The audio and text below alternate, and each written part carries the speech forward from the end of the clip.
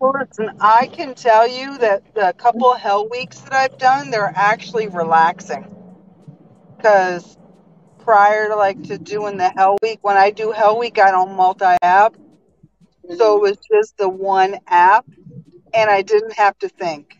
Just go, go, go, go, go, go, go, go, go. I put in my mind I'm just going for a drive, and I'm occasionally stopping and picking up some shit and dropping some shit off.